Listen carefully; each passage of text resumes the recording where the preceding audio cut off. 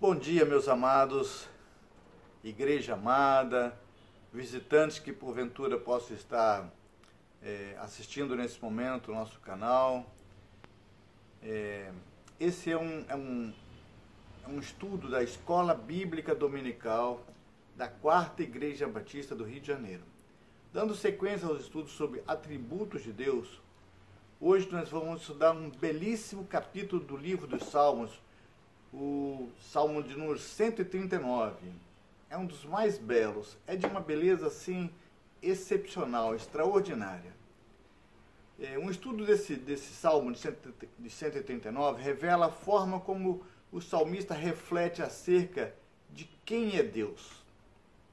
Esse salmo é uma oração pessoal e forma de poesia, na qual o salmista medita nos atributos de Deus ele traz uma preciosa exposição que contrasta a grandiosidade do Senhor e a pequenez do homem.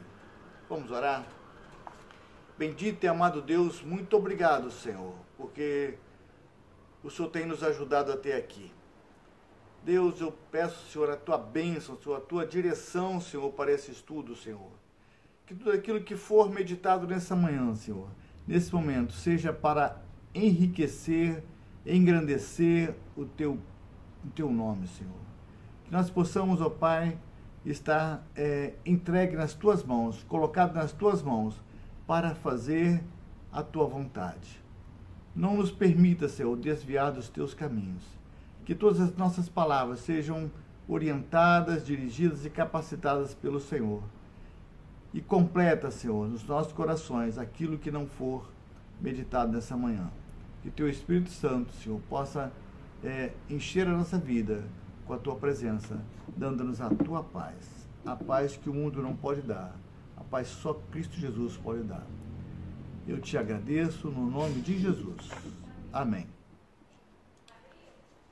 Fazendo um esboço do, do, do Salmo 139, é, esse salmo é organizado em, em quatro partes que destacam de forma central certos atributos de Deus. Na primeira parte, o salmista fala sobre a, a onisciência de Deus, Salmo 139, do 1 ao 6. Na segunda parte, o salmista fala sobre a onipresença de Deus, Salmo 139, de 7 a 12. Na terceira parte, o salmista fala sobre a onipotência de Deus, Salmo 139, de 13 a 18. E na quarta parte, o salmista fala sobre a santidade de Deus e destaca o resultado prático e experiencial que esse atributo moral ocasiona na nossa vida. Onisciência, onipresença e onipotência são atributos incomunicáveis isso significa que somente Deus é quem os possui. Já a santidade é um atributo comunicável.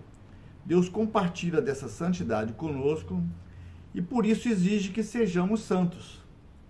Ele diz lá em Levíticos 12: Sede santos, porque eu sou santo. O Salmo 139 traz uma mensagem, de certa forma, até é, preocupante, aterrorizante para o pecador ao revelar a soberania de Deus sobre todas as coisas.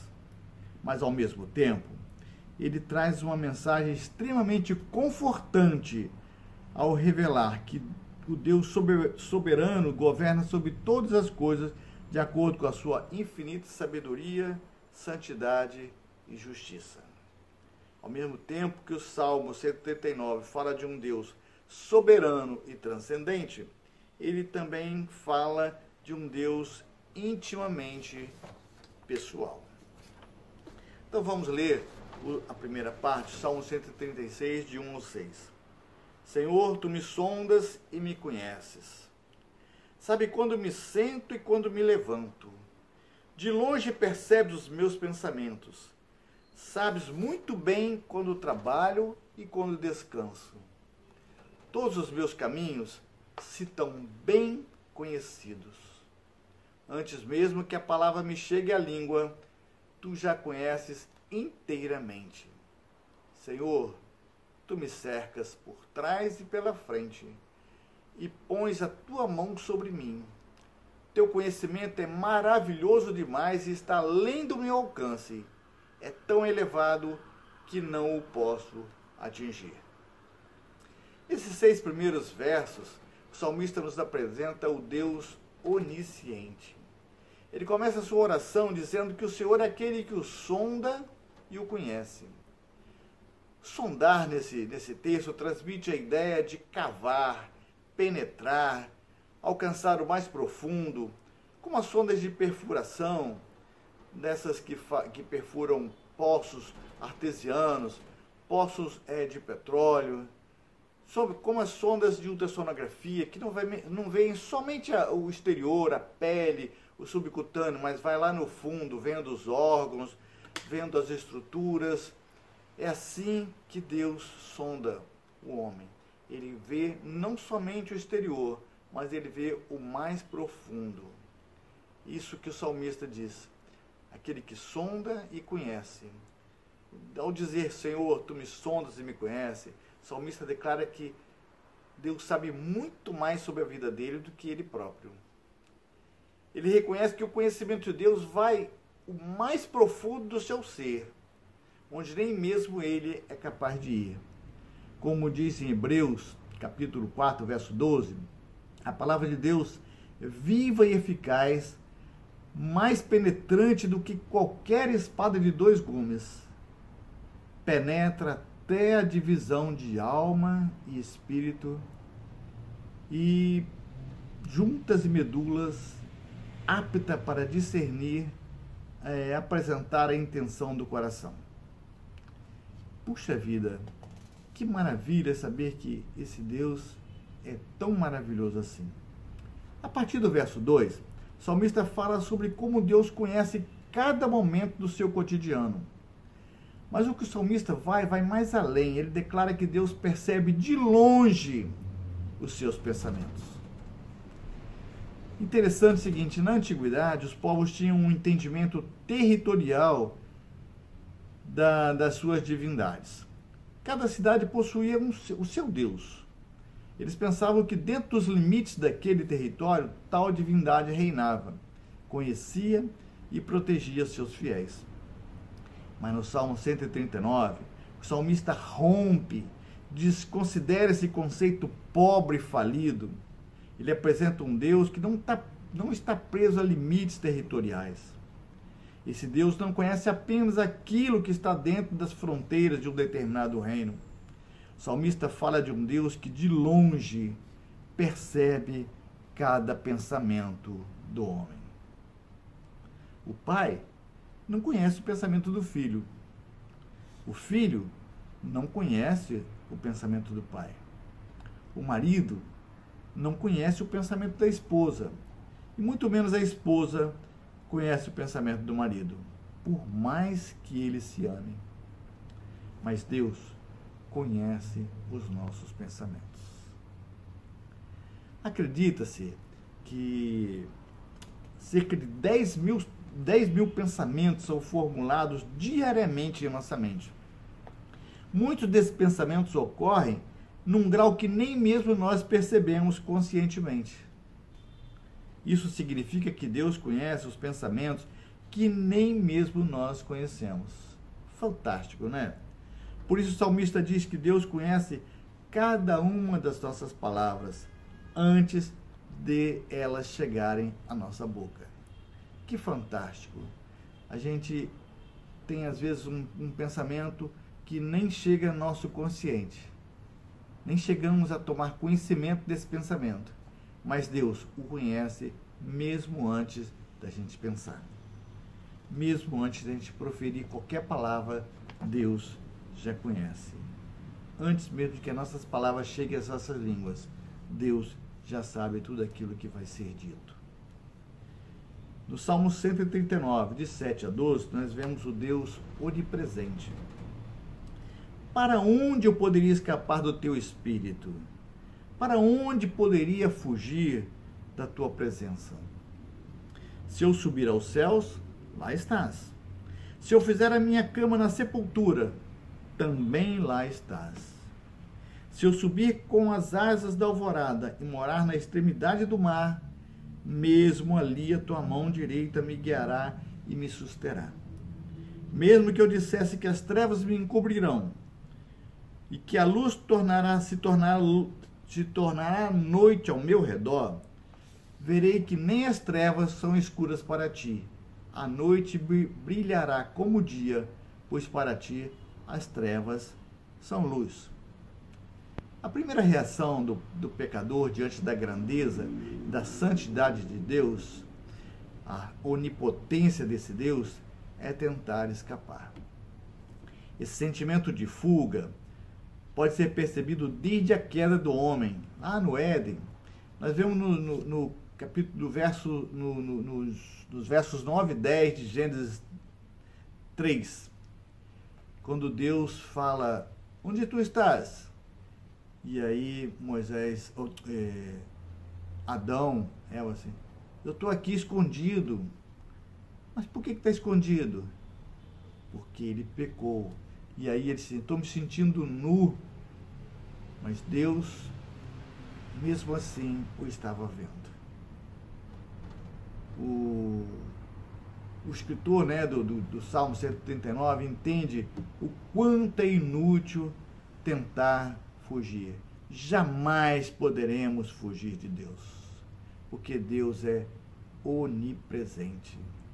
O salmista diz que os olhos de Deus o encontram onde quer que ele vá, seja no mais alto céu ou no mais profundo abismo. Nem mesmo a morte pode esconder o homem dos olhos de Deus.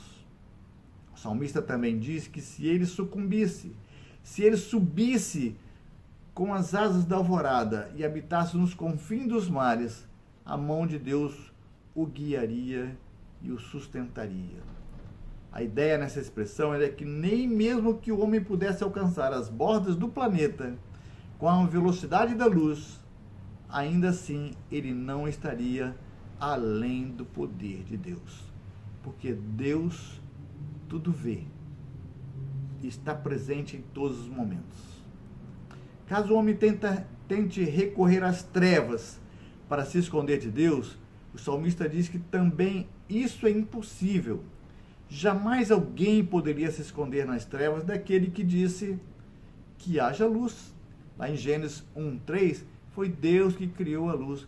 No início era tudo escuro, tudo, é, um abismo completo. E Deus disse: haja luz. Então ele que criou a luz, ele tudo vê através do profeta Isaías, Deus disse: Eu formo a luz e crio as trevas. Isaías 45, 7. Então, é o próprio Deus que formou, que forma a luz e cria as trevas. Então, é impossível fugir da presença de Deus. Salmo 139, do 13 a 18, nós vemos o Deus onipotente. Tu criaste o íntimo do meu ser e me teceste no ventre da minha mãe. Eu te louvo porque me fizeste de modo especial e admirável. Tuas obras são maravilhosas, disso tenho plena certeza. Meus ossos não estavam escondidos de ti, quando em secreto fui formado e entretecido como as, nas profundezas da terra. Os teus olhos viram o meu embrião. Todos os dias determinados por mim foram escritos no teu livro antes de que qualquer deles existisse.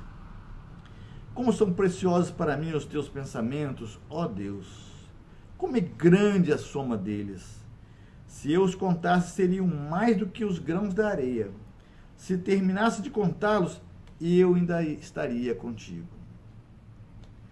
Na sequência do estudo desse, desse livro do, do, do, do Salmo 139, o salmista fala sobre como Deus onisciente e onipresente mostra a sua onipotência na criação do homem. Ele mostra Deus como um artesão perfeito, que constrói sua obra de arte no lugar mais improvável. Dessa forma, o homem secretamente na escuridão do ventre materno ele ali o enxerga com clareza e perfeição. O salmista diz que Deus o teceu no ventre da sua mãe, como um tecelão perfeccionista que cuida detalhadamente de cada fio que é entrelaçado. Assim, Deus forma o homem. Depois de três mil anos que o Salmo 139 foi escrito, a ciência descobriu que o homem, que o corpo humano, ele é tecido de bilhões e bilhões de células. Alguns cientistas falam algo superior a 30 trilhões de células. O valor é estimado, né? Porque nunca ninguém conseguiu contar. O núcleo de, núcleo de cada célula possui cerca de 2 metros de código genético, organizado como uma fita que assombrosamente consegue, consegue caber num espaço que é tão pequeno que precisa ser medido em milionésimo de metro, mas assim nenhum milímetro dessa fita genética se embaraça. A ciência não sabe responder exatamente como isso pode ser possível. Mas a Bíblia responde. O Salmo 139 declara que isso é possível porque o próprio Deus o arquiteto perfeito, o biólogo perfeito, o geneticista perfeito é capaz de fazer o homem dessa forma. Só ele é capaz de fazer dessa forma. Isso foge ao conhecimento do homem. É impossível para o homem entendimento de como isso é realizado. Fantástico que em 30 trilhões de células, cada célula com seu núcleo contendo 2 metros de carga genética, elas não se entrelaçam, elas não embaraçam. Olha a perfeição da arquitetura que Deus criou para nós. No verso 16, a ideia seria algo como um arquiteto que planeja, registra e executa cada detalhe do seu projeto. Nesse sentido, cada detalhe de cada membro dos nossos corpos foi planejado e conhecido de acordo com, com o propósito soberano de Deus antes do desenvolvimento. Então já, nós já somos formados desde antes de sermos gerados, nós já existimos no coração de Deus. Essa que é a verdade. A arquitetura dele, ele já tinha planejado cada célula, cada membro, como nós seríamos, cada pensamento, cada ato que nós teríamos.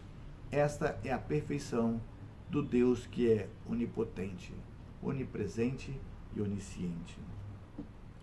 Uma outra ideia é que os nossos dias foram registrados no livro de Deus antes que qualquer um deles existisse.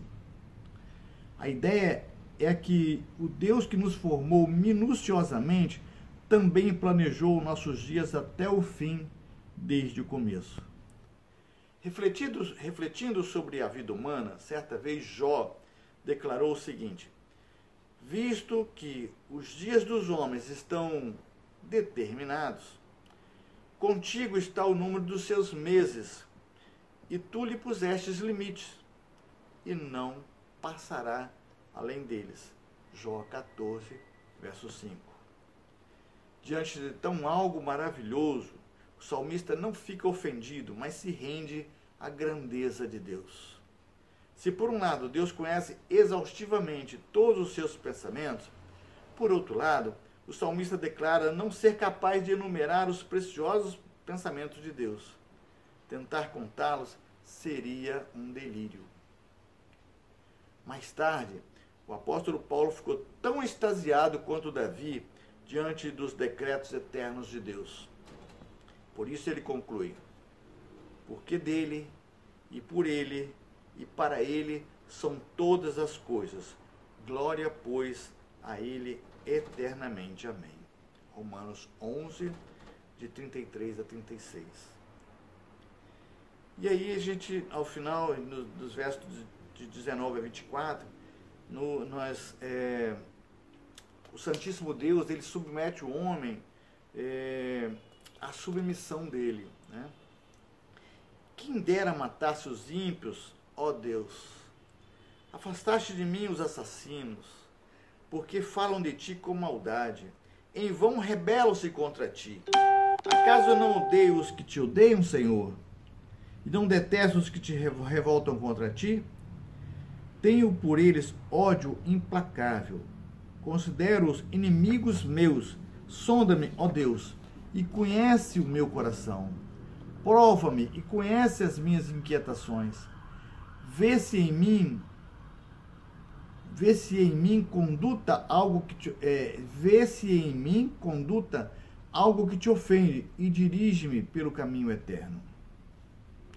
Alguns pensam que essa última parte não se harmoniza com o restante do salmo, mas é fácil perceber que essa última parte é a conclusão possível depois que o salmista reflete sobre a grandeza de Deus.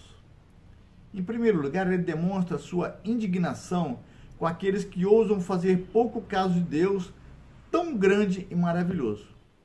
Por isso, ele declara odiar os ímpios. Aqui é importante entender que não há contradição alguma entre o ensinamento de Jesus no Novo Testamento de que temos que amar nossos inimigos. Salmista não está declarando sua ira contra seus próprios inimigos, mas contra os inimigos de Deus.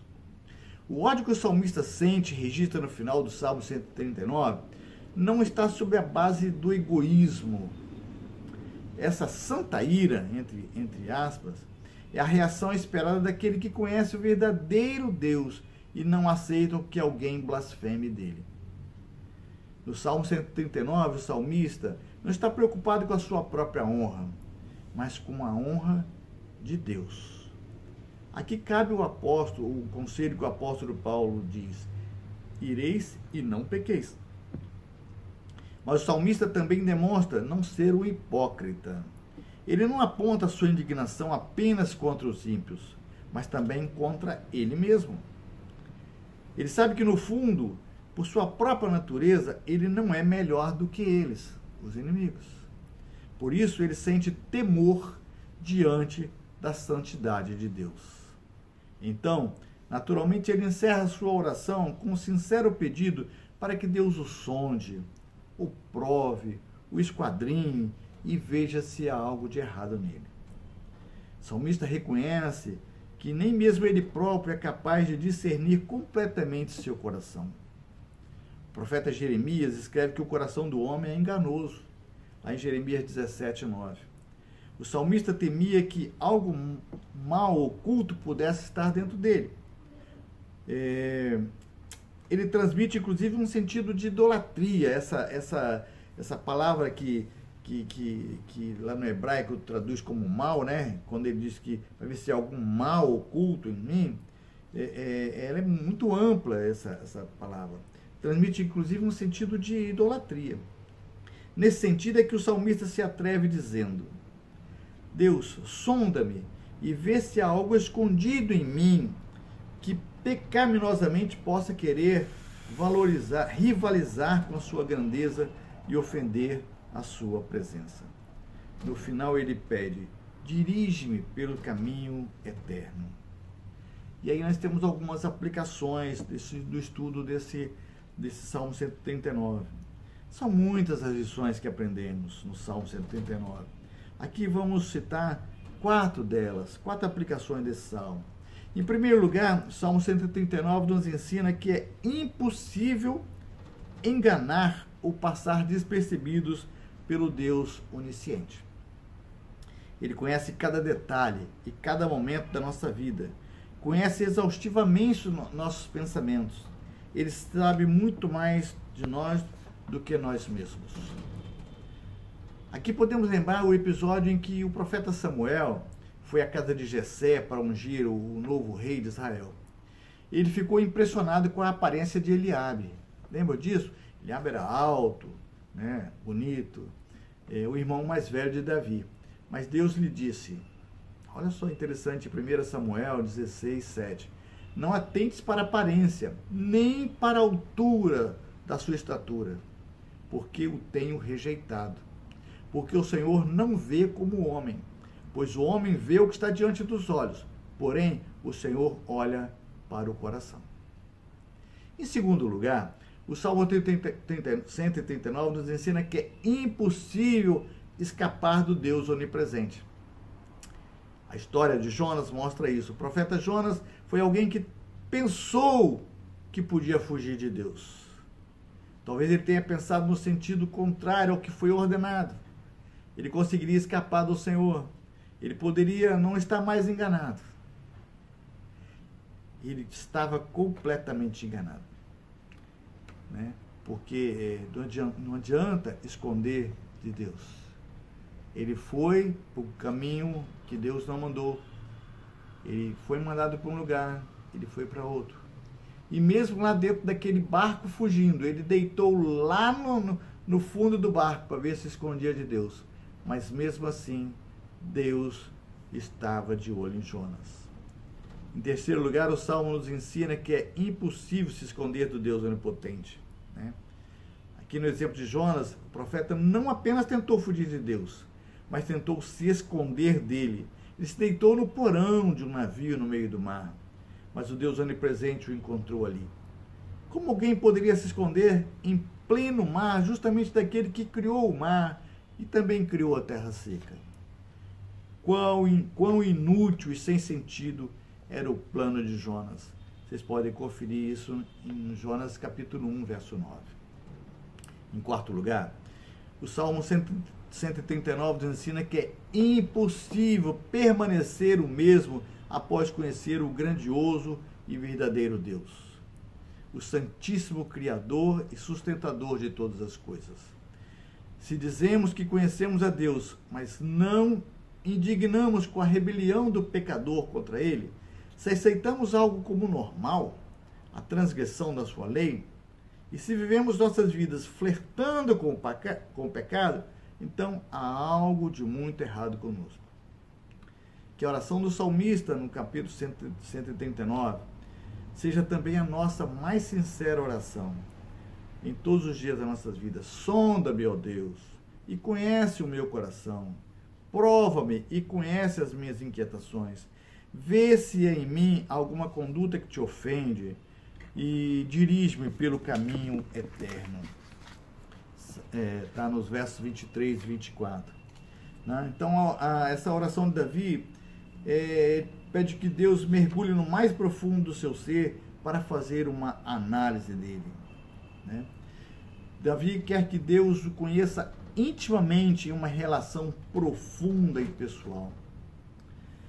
Davi é, é, é ele, ele não busca sucesso né, e, e, e venturas para ele mesmo a súplica é pela eternidade, o novo e vivo caminho. O seu anseio não é aquele momento, o seu anseio é o céu.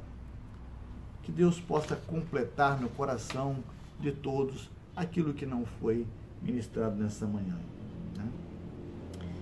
Então eu, eu, eu agradeço né, mais uma vez a oportunidade de estar aqui diante dos irmãos mesmo que seja de maneira é, eletrônica, né, pelo Facebook, pelo YouTube, enfim. Estou é, feliz porque Deus tem me abençoado, tem me capacitado, tem me instruído. E eu peço que é, Deus habite em mim, para que eu possa sempre ser essa pessoa que Ele desejou e que se cumpra em mim o propósito dele. Um domingo abençoado na presença do Senhor. Amém.